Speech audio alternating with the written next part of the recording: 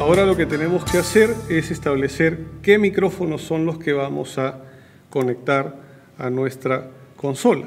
Ya tenemos la calibración hecha hacia nuestra grabadora, pero esa calibración es para grabar distintas señales. Podríamos tener un shotgun en un boom y un par de solaperos o lavalier o la combinación que creamos conveniente. Para eso tenemos que conocer qué micrófono es el que vamos a utilizar. Acá les presento eh, una estructura de micrófono shotgun que está puesta en un sistema especial que se llama Zeppelin y vamos a abrirlo. Para hacer eso eh, tenemos que girar despacio uno de los lados y lo sacamos. Giramos el otro lado y lo sacamos. ¿Por qué hacemos eso? Porque tenemos que verificar, uno, que el micrófono esté conectado.